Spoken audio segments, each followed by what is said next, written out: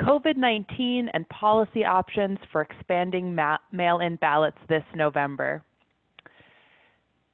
Um, if you are not familiar with us at Nonprofit Vote, I just want to share a little bit about who we are. Uh, we work with nonprofits all across the country to get them to engage the people they serve in voting and elections. So we have a vast library of nonpartisan voter engagement resources.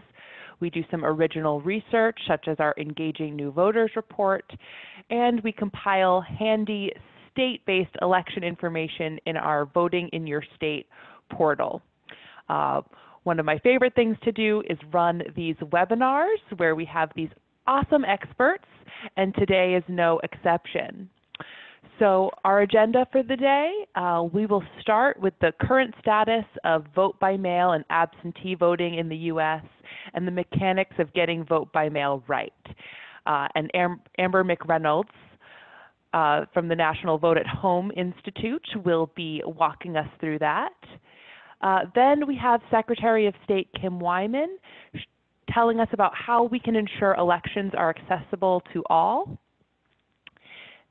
Then Commissioner Ben Hovland from the Elections Assistance Commission uh, talking about the funding from the CARES Act uh, that the EAC has available to uh, election offices making these uh, adjustments in light of COVID. And finally, we will do our Q&A. If you have questions for our speakers, you can use the Q&A box to send us your questions. There's also a chat box, and that's a good place for any feedback for us, or if you're encountering some sort of technical difficulties, we may be able to uh, help you troubleshoot those. Uh, this webinar is being recorded. The recording and slides will be sent out to everyone who RSVP'd, whether you didn't get on at all or had to jump off early or got on late. Don't worry, all this content will be available to you. We'll send it out within the week.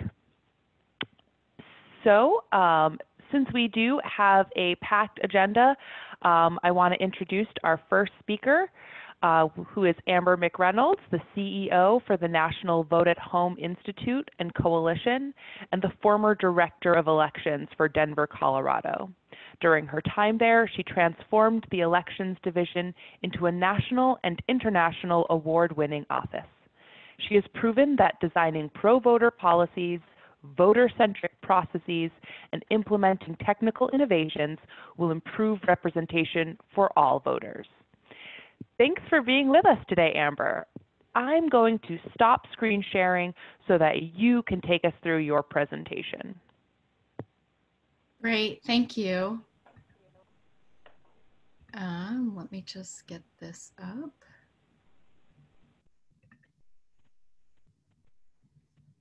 Um,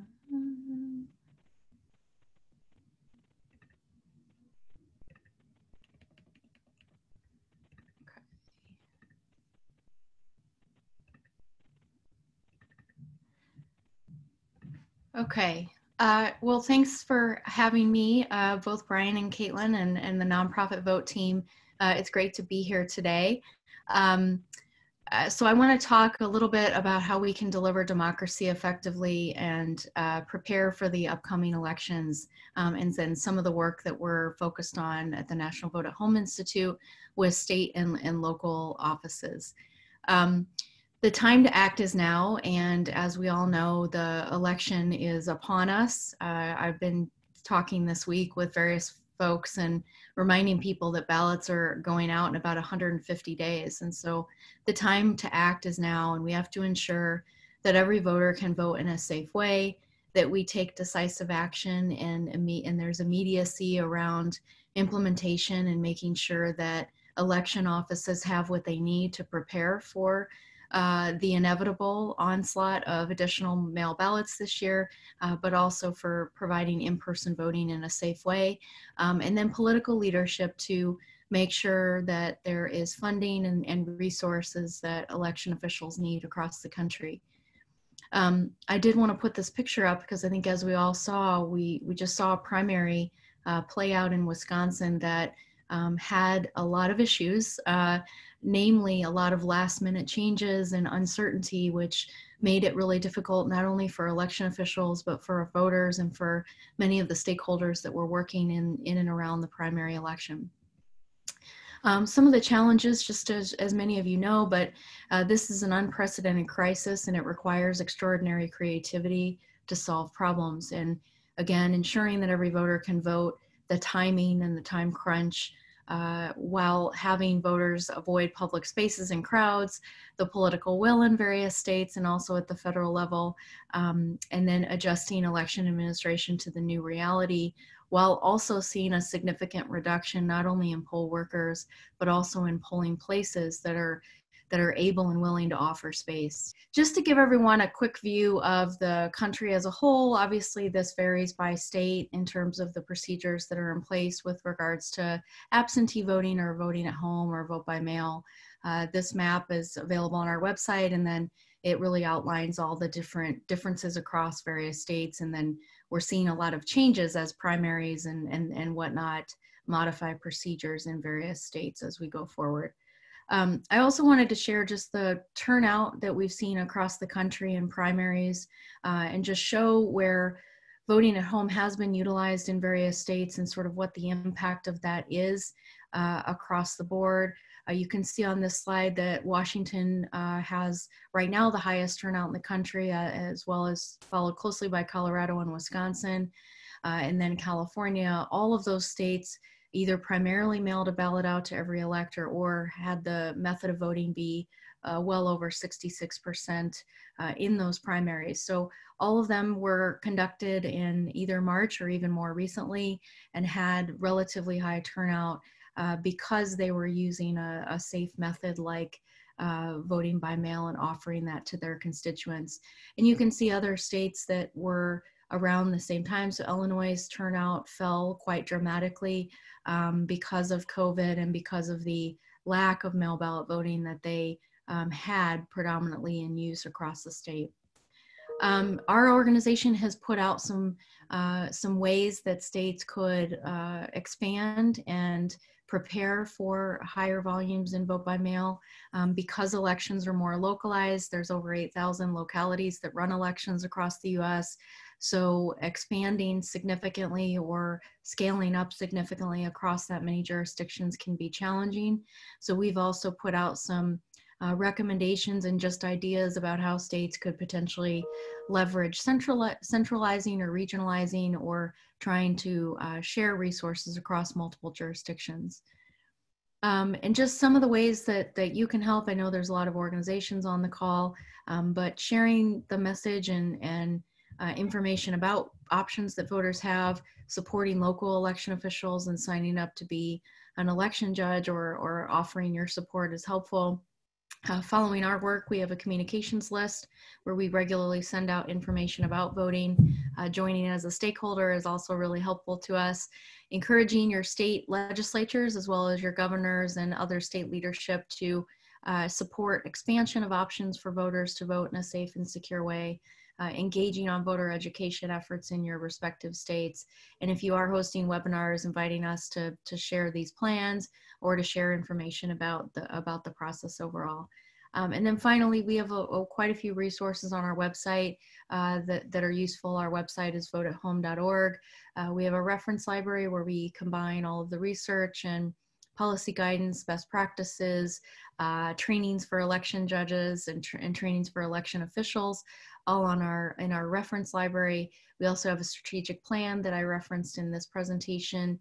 We have a document that we call myths, so it sort of outlines the myths associated with voting by mail and voting at home.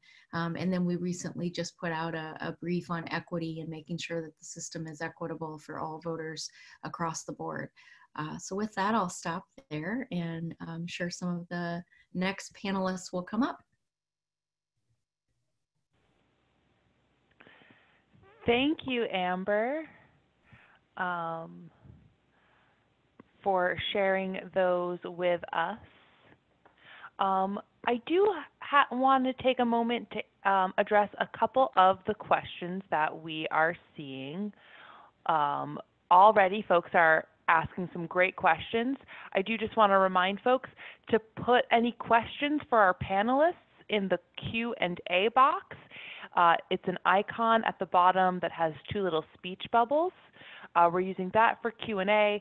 We're using the chat for any feedback that you might have for us. Um, so let me um, once again share my slides with you all. Okay, so um, so the first thing I'm hoping that you can speak to, Amber, is um, a question we have from Marilyn about opponents who say that um, vote by mail is abused by um, illegal aliens or non-residents, um, and is there any nonpartisan research that shows it's not true, and anything that we can um, uh, use to fight back against that assumption that vote by mail is abused in that way? Um, sure. We we have on our website. We actually have in our myths uh, FAQ some some um, uh, information about some of those sorts of talking points that we've heard uh, circulated. Um, and then uh, all I would say is, look, it, it, it's really important how the system is implemented. And one of the recommendations that we make to states regularly and that has been utilized in states that have a lot of vote by mail is a tool called ballot tracking.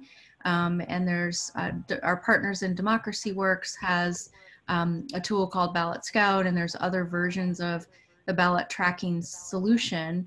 And so um, that is a good way to um, make sure that voters know where their ballot is at every moment in time. It's just like uh, uh, the same type of system where you track a FedEx or a UPS package. You can do so for your ballot envelope, and it gives you that full accountability and transparency. So it it helps to enhance security around these sorts of systems.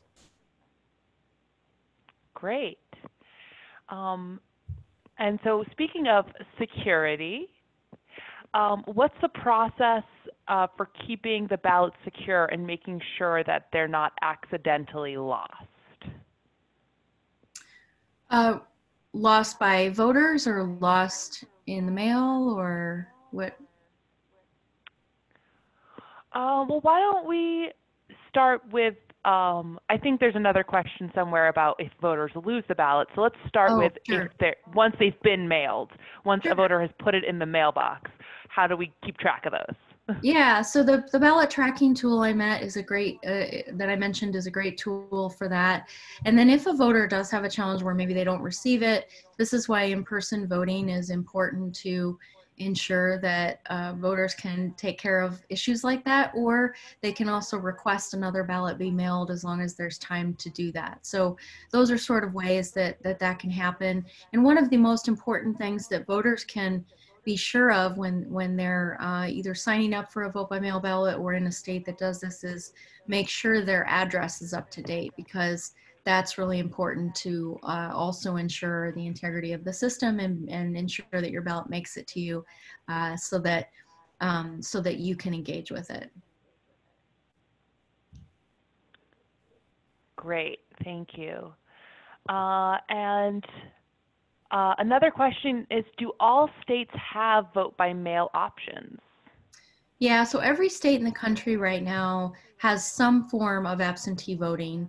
Uh, the map that I had put up um, kind of out, we sort of, we categorize states into five different buckets. Um, um, uh, the sort of top step five, if you, if you will, is, is a state that mails a ballot to everyone, such as Utah or Washington or Colorado. Um, then there's sort of from there, it's uh, no excuse, meaning you can sign up for a ballot, and that's where the majority of states are. They're either uh, they have a permanent way to do that, or they have a no excuse required. And then down from there, there's the states that have excuses still required, like in Alabama or South Carolina or Tennessee or Texas.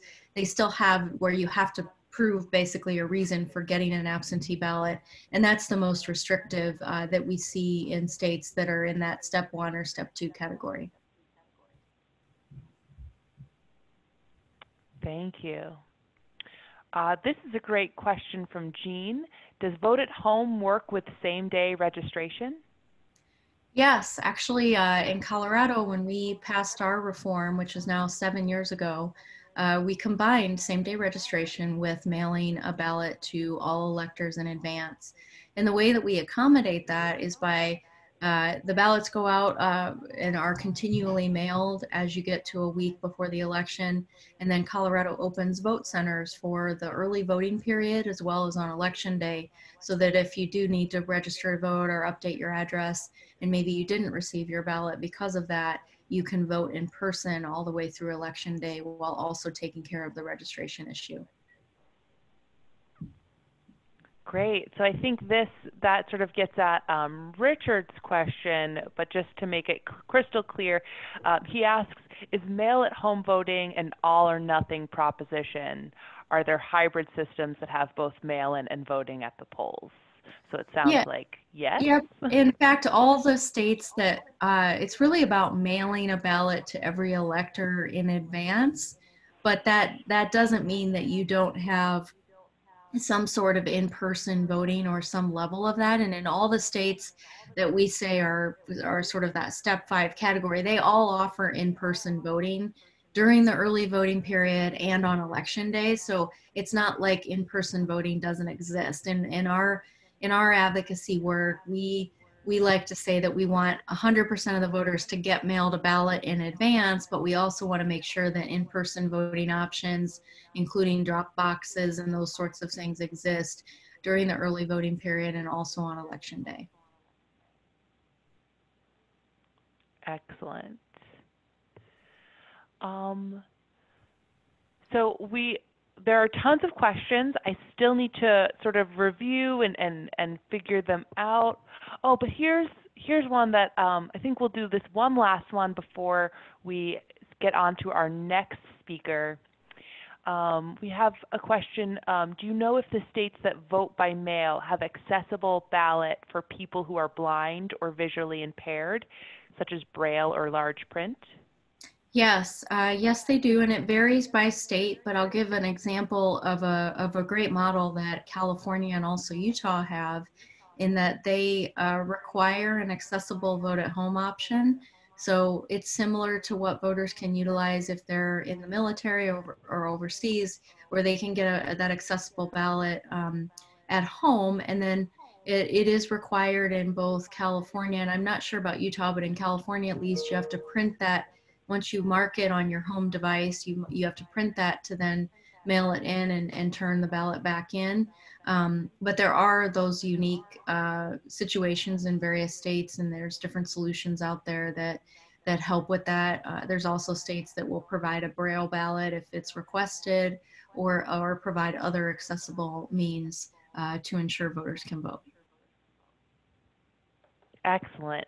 So I think that's a really nice transition to talk about um, keeping elections accessible um, to transition into our next speaker. So um, Amber, if you can hang on, because I'm sure you'll be called on to answer many more of these questions um, in the future. Uh, but next, I want to introduce Kim Wyman, Washington's 15th Secretary of State. First elected in 2012, she is serving her second term and is only the second female Secretary of State in Washington's history. Prior to being elected to this office, Kim served as Thurston County Elections Director for nearly a decade and was elected Thurston County Auditor from 2001 to 2013. Kim also sits on the steering committee for National Voter Registration Day. Um, and so we are a big fan of, of her work in Washington and our, her help with National Voter Registration Day. So we are happy to have you here, Kim, and I know we pulled you away from another meeting. So I'll let you take it away and tell us about some lessons from Washington and how we can keep our elections accessible. Oh, absolutely. Thank you, Caitlin and, and Brian for having me on this call. And I'm a big fan, of course, of the work that uh, Nonprofit Vote does and, and National Voter Registration Day and all of it. So uh, really appreciate uh, the opportunity to be on this call. Um, I thought I would start first by giving the timeline and, and the evolution that Washington went through in becoming a vote by mail state because I think it's, it's a, there's a lot of lessons we learned the hard way that I think uh, states that are wrestling with this issue now can uh, take away from it and um, and I, I hope we can all be successful this fall. So um, let me start with the kind of the overarching point I want to make is that this didn't happen overnight. In fact, it took decades in Washington State, and we we really were way ahead of the curve uh, in 1983, allowing uh, voters with disabilities or um, people 65 and over to uh, have a permanent absentee status. And so that meant for about a decade, um, we we ran about two to three percent of our ballots were permanent absentee voters and and return them that way.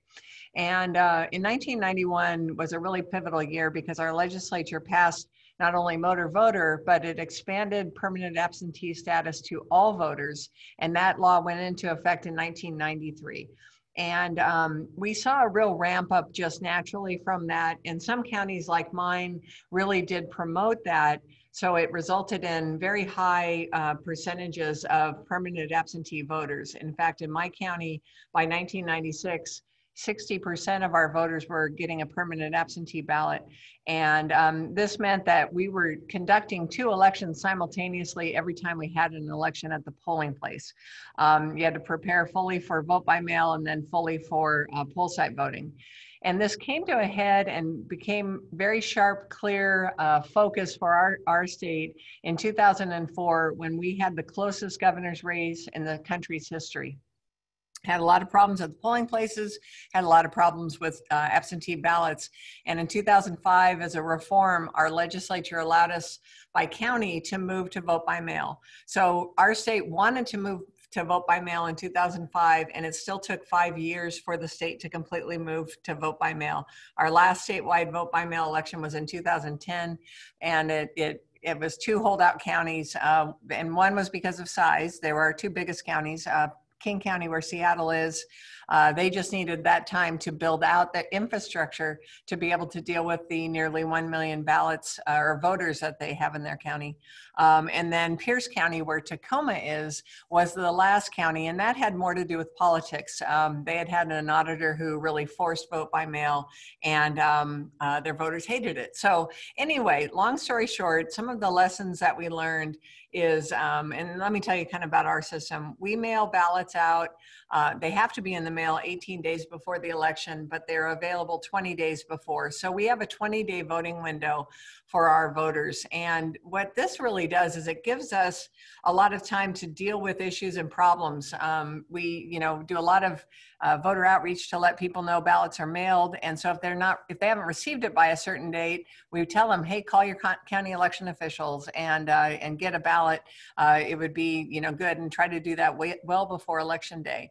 Um, we I, I, can tell you, having done this for a long time, the two criticisms we receive uh, most often are that the stamp on the ballot is a poll tax and that my mail carrier can see my signature. And I think that that has a potential for um, some sort of fraud or um, uh, ID theft. So um, the thing that kind of evolved for us in the 90s, and, and I think I might have been the one who started it, is we, um, we started doing ballot drop boxes. And so now across the state of Washington, we have about 500 ballot drop boxes.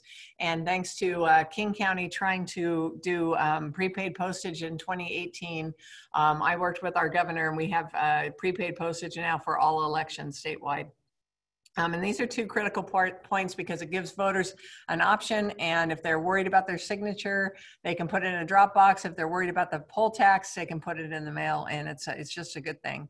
We also do have the, the accessible online voting option that you heard um, Amber talk about for people who um, may need to use their own device to mark their ballot or maybe serving overseas in the military or as a civilian. And, um, and then we also translate many of our ballots and ballot materials into, of course, the, the uh, Section 5 languages, but um, we on demand will do things like uh, translate into Braille. We have the Talking Book and Braille library here in my office. So uh, we do provide those services and provide a voter's pamphlet, in fact, in Braille. But we uh, we tailor a lot of that. We have audio pamphlets, so a lot of it is is kind of customized based on the needs of our voters, and is coordinated with our counties. Um, as Amber said, we do have vote centers that are open for accessible voting, and uh, you need to be able to do things like get replacement ballots or um, register to vote. And we do have same day registration uh, that we implemented for the first time in 2019. So I will let you know how that goes in the crush of 2020. Um, one of the things our state also did is, is we have a statewide voter registration system now that is nearly live time. So um, when people come in and, and register on election day, uh, we are doing a check on their, their driver's license or their ID card and um, with the Department of Licensing. And we're kind of building in some of that, some of those criticisms that you hear on the fraud side, um, those are built into our system. Um, I guess some of the pros that I haven't spoke about, we have a paper ballot system, which is audible.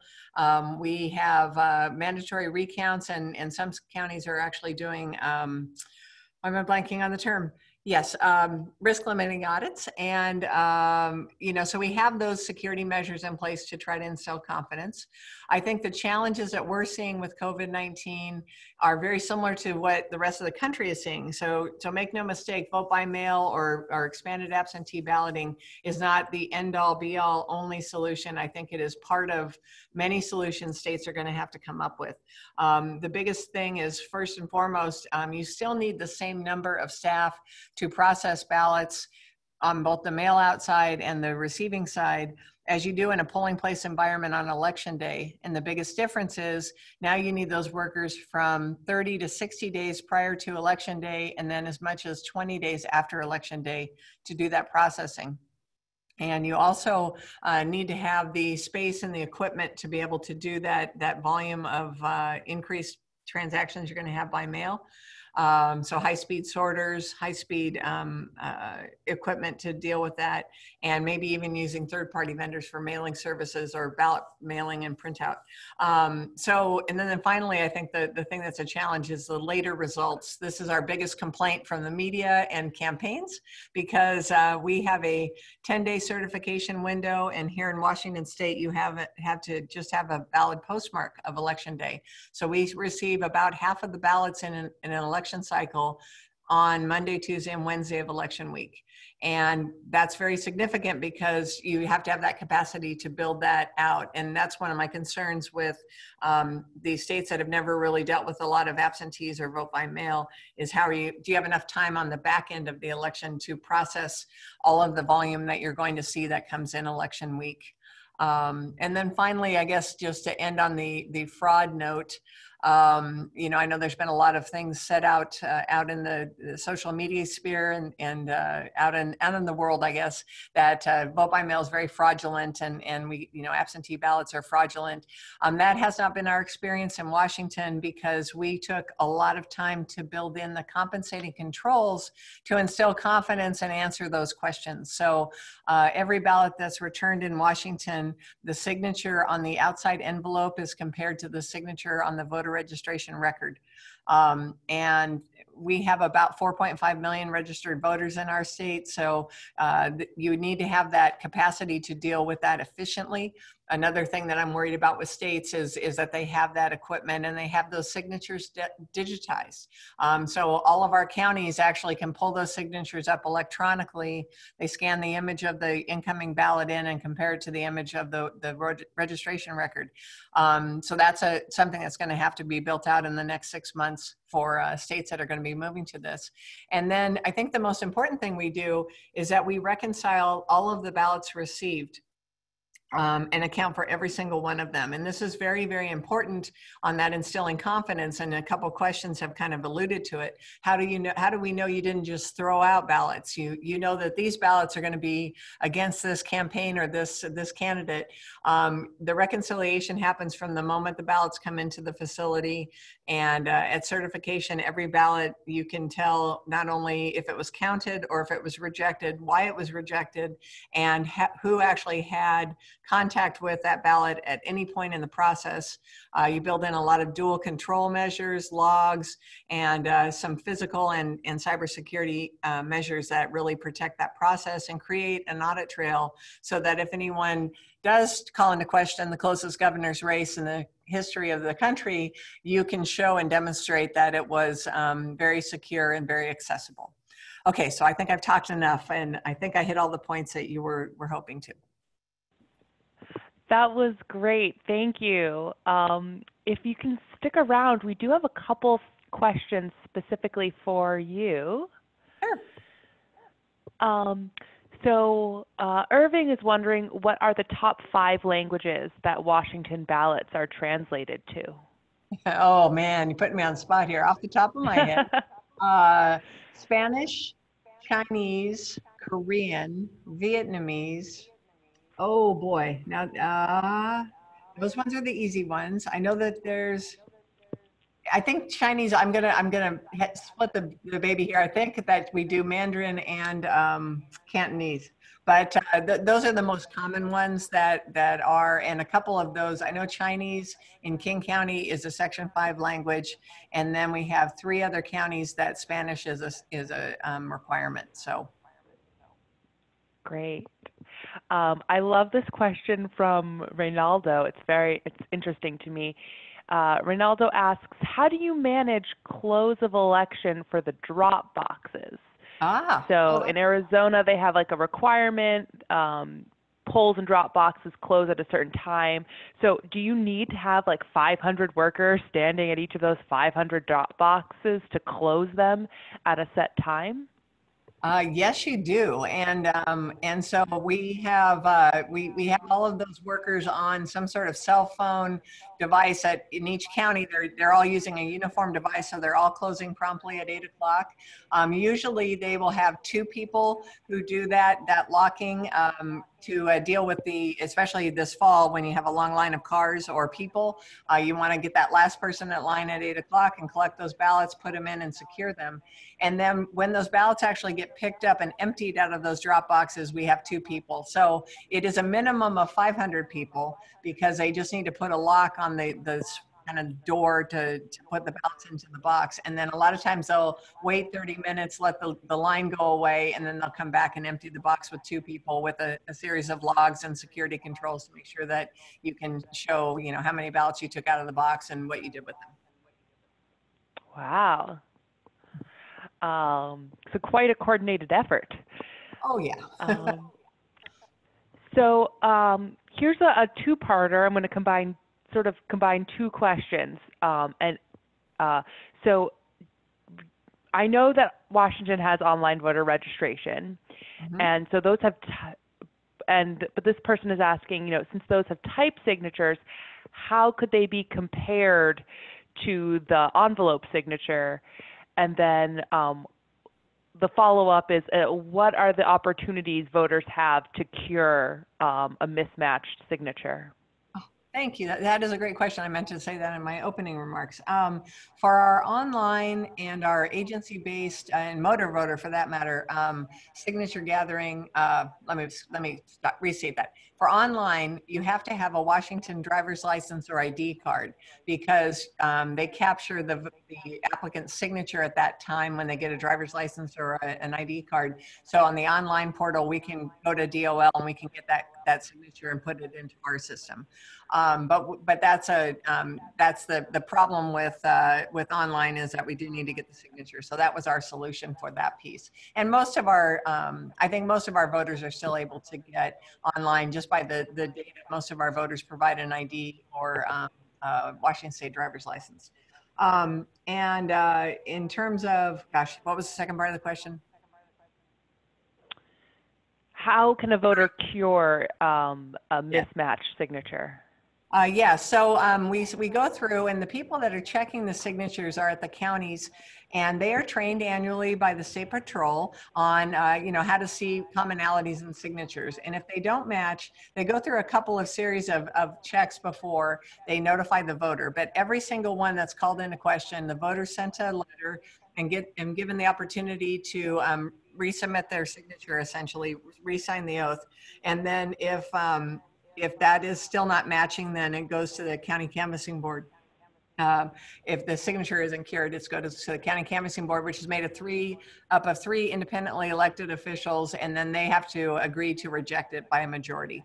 Um, and that that check really serves two purposes. One, just to give the second chance to the voter, but it also is a, another fraud measure um, because if a voter has not returned their ballot and they get a letter from the county auditor saying, hey, your signature doesn't match, the voter can contact the county auditor and say, hey, I haven't returned my ballot. That's not me and then that that can start an investigation. And i can tell you that the auditors take it seriously and they do investigate um, any claims of fraud or, or duplicate voting. And they do um, turn those over to the sheriff and, and prosecute them with the prosecuting attorney.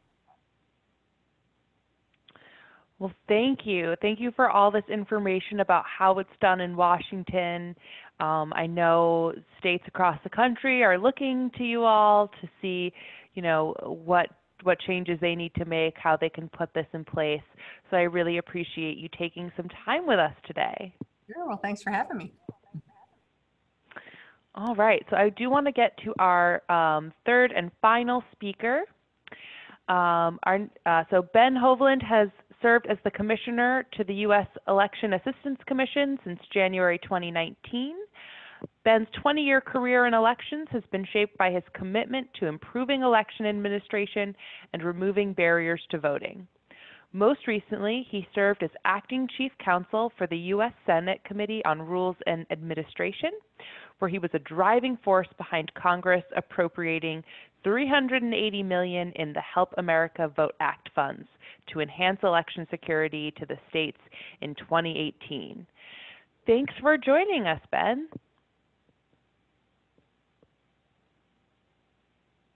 Oh, we don't hear you. I'm going to unmute you.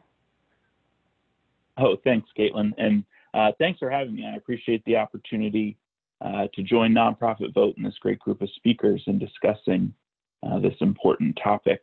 Uh, just, uh, I know we've got a lot of a lot of participants on the webinar today, so uh, just in case some people aren't familiar with the EAC, I'd give a, a brief overview that we are a small federal agency created by the Help America Vote Act of 2002. That was Congress's response to the Florida 2000 election. Uh, and we're tasked with a number of things, but, but sort of most notably on a high level, we uh, are tasked with giving out grant money from Congress, as you mentioned. Uh, we also work on uh, the voluntary voting system guidelines, which are uh, a series of guidelines that voting equipment in the country uh, is often built to, and then we have a testing and certification program with that. And then finally, and sort of most relevant to today's conversation, uh, Congress tasked us with a clearinghouse function uh, where we uh, collect and try to disseminate best practices in election administration around the country. And so, sort of in this time of the of the novel coronavirus and COVID-19, uh, certainly it's presenting um, unprecedented challenges around our country, and of course, the election administration community uh, is in the thick of determining how to, to best conduct elections in this environment. And at the EAC, uh, we've pivoted substantially to focus our attention on how we can support state and local election officials as they make tough decisions about their primaries in the general election. Uh, we've done this by working uh, within the critical infrastructure subsector. Uh, this is a, a, new development since January of 17. Uh, but we've been working within that framework on a number of products. Uh, the EAC is leading a joint working group between the Government Coordinating Council and the Sector Coordinating Council. Uh, you know, essentially what that means is that we have state and local election officials along with private industry experts working with staff from the EAC and the Cybersecurity Infrastructure and Security Agency, or CISA, on a number of documents that address uh, considerations and best practices for voting during the pandemic. Uh, the EAC has also hosted a number of Zoom videos or web chats where we bring together experts from the elections field to discuss best practices and lessons learned on particular topics. Uh, as an additional plug for these videos, my two co-panelists today have each served as experts on these EAC videos. And so, uh, you know, I'm hopeful that these videos and the other resources I mentioned can help with the unique challenges that election officials are facing. Uh, but I also believe that they can be a resource for this community and the participants on this call to provide useful information and background on election administration considerations that must be taken into account.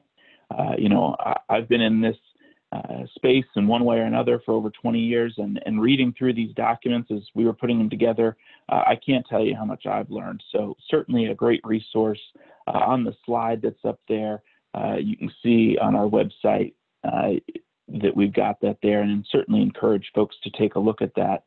Um, but ultimately, with the 50 states running elections 50 different ways, each state is in a different place and in determining the best ways for their state to proceed. Uh, we certainly see that in the grant request letters that we've been receiving from the states as we distribute the $400 million in CARES Act funding that Congress provided for elections. Uh, the CARES Act was signed into law on March 27th.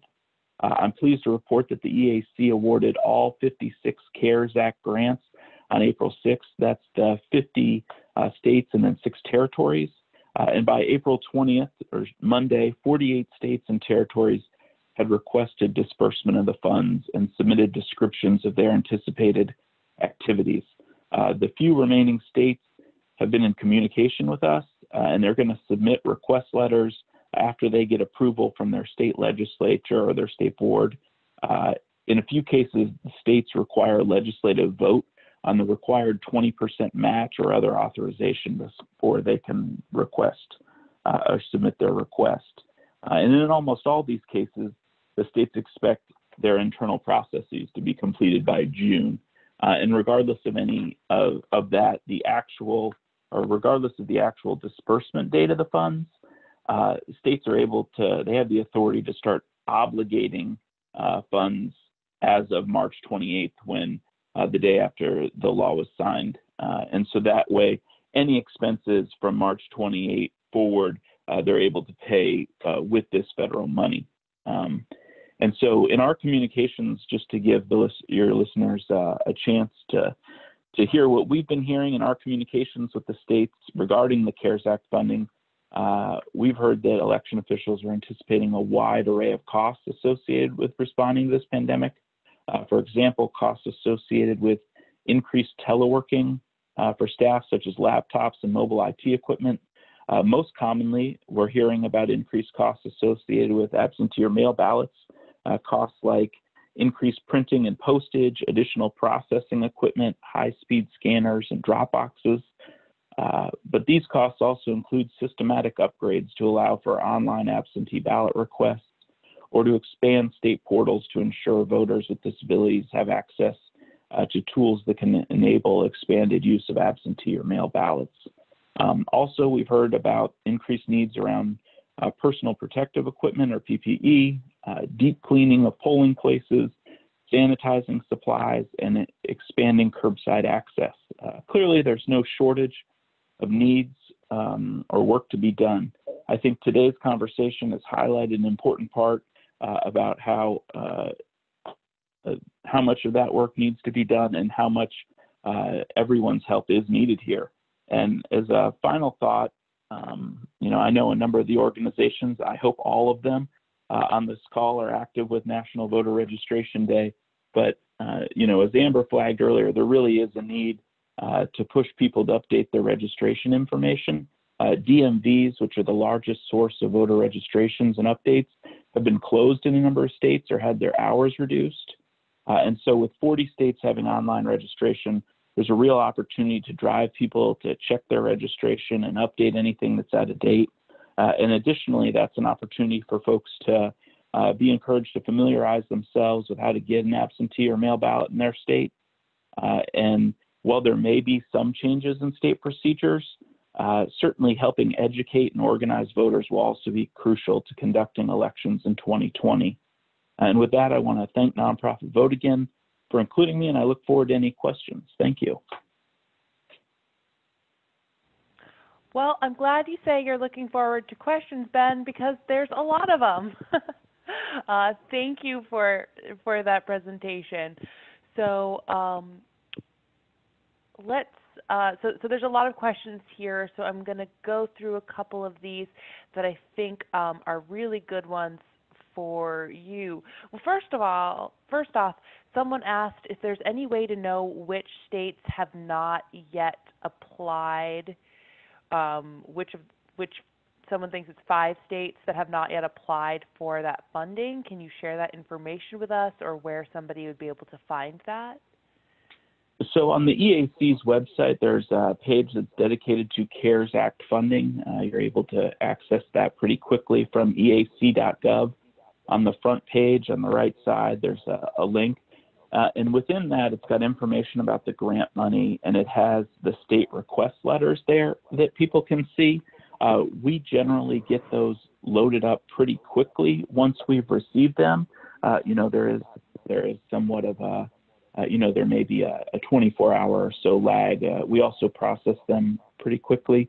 Again, from for the states that have not uh, submitted official requests yet, they've all asked for extensions, and those really have to do with state legislative processes for the most part, or or state processes that are in place that are necessary um, for the chief election official to uh, formally be able to request or accept federal funding. Thank you for that. Um, someone is asking if um, if the funding appropriated by Congress runs out, can private entities, in, like businesses, individuals, or philanthropy, provide such funding to assist with paid postage, ballot scanners, sanitation supplies, etc.? I would say that that's going to be a state by state issue, depending on parameters for uh, state and local election officials and what their gift laws and rules are. Okay, so so gotta the, the answer will vary by state.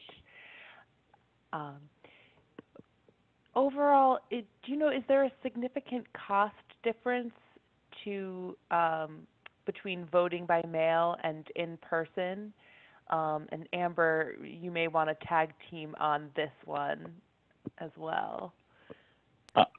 This is Ben. I'd jump in and just say, uh, you know, I think that the cost difference and, and what we're going to see right now, certainly I think my understanding, and, and Amber and Secretary Wyman know more about this than me, but I'd say there's ultimately a cost savings, it seems like, with vote by mail.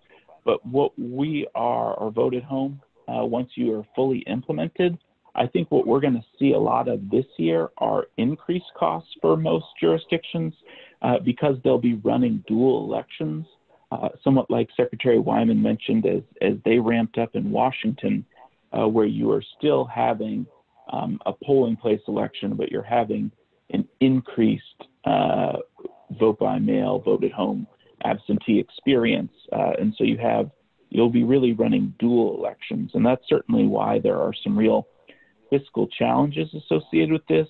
Certainly, you know, we continue to hear, uh, you know, Congress appropriated this $400 million, which is great. Uh, but certainly, what I've been hearing from state and local election officials is they expect uh, the needs to be much higher than that. and a big portion of that comes into play because while state and local election officials are primarily responsible for running elections and primarily responsible for funding elections, uh, you know, people's uh, the state and local budgets to run the 2020 election were based on a traditional model of how they were going to run the election. And now what we're seeing uh, is people are going to be running, uh, you know, at least dual elections plus additional costs associated with uh, making polling places as safe as possible, potentially relocating polling places away from uh, senior centers and other uh, locations that are no longer available. Uh, and so there really is going to be a significant cost that's above and beyond what was anticipated or budgeted at the state or local level. And this is Amber. Um, yeah, so for the most part, the, the research and data that's looked at you know, a system like where Colorado implemented a, vo- a primarily vote by mail program with still vote centers, in-person voting, and uh, same-day registration, that found that when that implementation happened, uh, the Pew Research Center analyzed costs across counties and found a 40% reduction in administrative costs. That being said, that was the full shift to you know, mailing everyone a ballot along with vote centers instead of polling places in that kind of program. But so I think Ben is exactly right, and what Secretary Wyman said is also exactly right in that where basically right now jurisdictions are seeing a significant increase of voters requesting the ballot, but still having to provide the level of polling places and sort of the other programs that they're doing, the costs will be very high this year because they're the pressure is sort of happening across the board. Um, and then the final thing I would say about costs is one of the suggestions that we've been making at the federal level to alleviate uh, some of the stress of the costs on local election officials is for the federal government to actually expand what they already do for military and overseas voters in that they pay for outbound and inbound postage. So that's covered at the federal level. It's it happens in every single state right now for military and overseas voters. And our suggestion has been to expand that to domestic voters so that it would eliminate eliminate that stress off of localities that pay for the postage for outbound and also inbound in many circumstances now and create consistency across the board and across the country. So that's one of the suggestions we have that would immediately uh, help local officials. Thank you. Um, so we have many more questions than I think we'll be able to answer today, but I, I'm seeing uh, two big trends that we'll try to get to. So one, and Amber, you mentioned the Postal Service. Um, one is about USPS and um, concerns about um, the the Postal Service uh, running out of funds and no longer operating. Um, how does that factor in? Are, are states thinking about this? And uh, if that were to happen, would vote by mail still be feasible? Yeah, that that has come up. What I would say is that when you look at the United States Post Office, I mean, first off, the regulation of it is in the Constitution. So, you know, for for it to go away, there's a whole nother discussion with regards to to that. But second off, um, uh, what I would also say about the um, post office is that it, it as an institution is the most trusted government run institution in the country. It has a favorability rating above the National Park Service, NASA, and various other uh, institutions. Also, it when you look at the percentage of material that goes through the post office that's that's vote by mail or absentee ballots, it's a blip compared to the larger um, amount of mail that goes through the post office that's more specific to businesses or medical supplies or medicine getting out there. And like when the post office, I think the number is around 350 billion pieces of mail a year. when we're talking about, you know, potentially adding up to 250 million ballots at the max. It's a it's a small piece of of, of what they're um, of of what they do. So I think that we have to look at the post office as being um, it, you know, there's a much larger impact of the post office in terms of businesses, rural communities, medicine, medical delivery, all of that across the country than just mail ballots.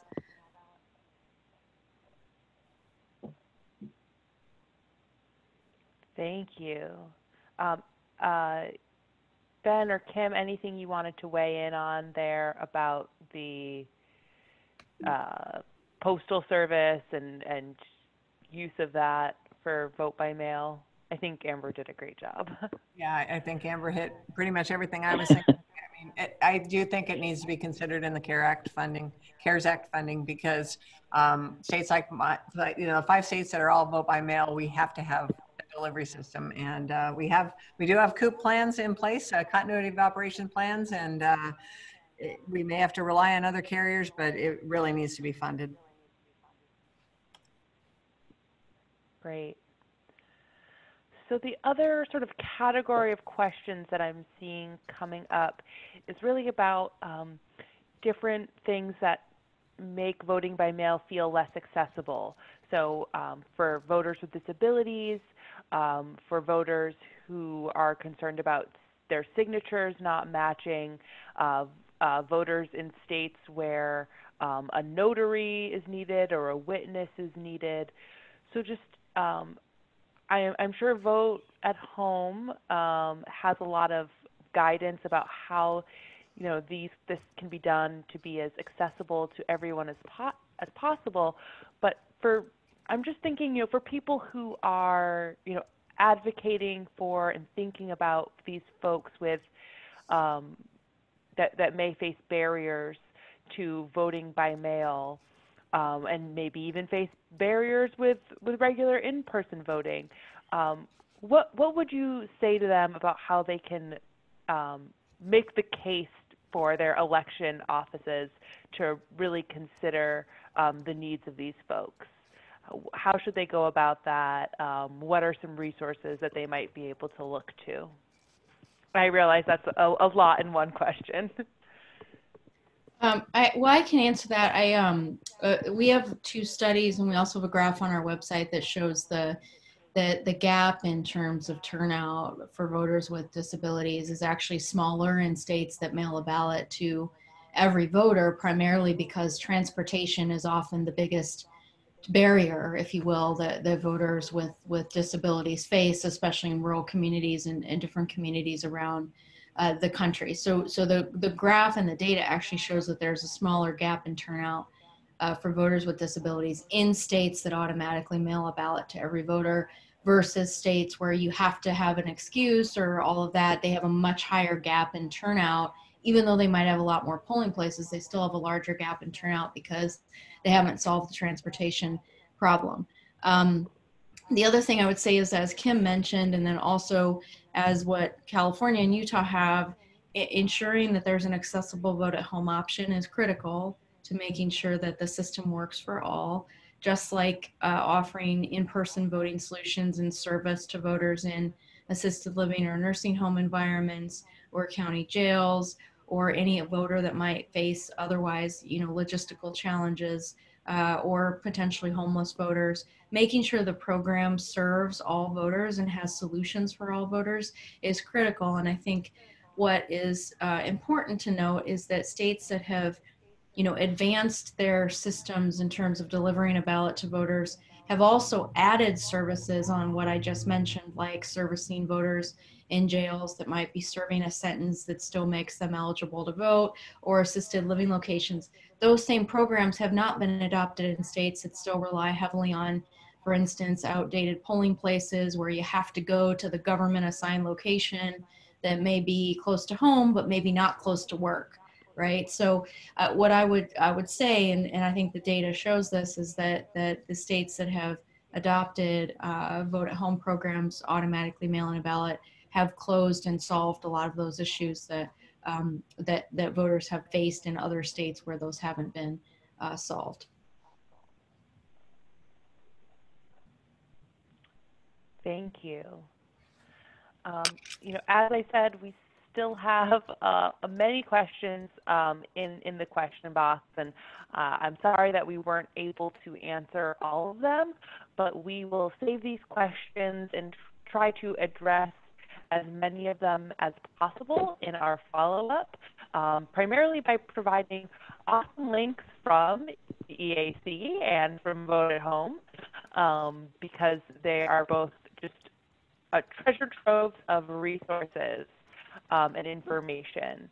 So um, as we close out, I just want to thank all our speakers today, Amber McReynolds, Kim Wyman, and Ben Hovland for um, lending their expertise and knowledge and being so very helpful.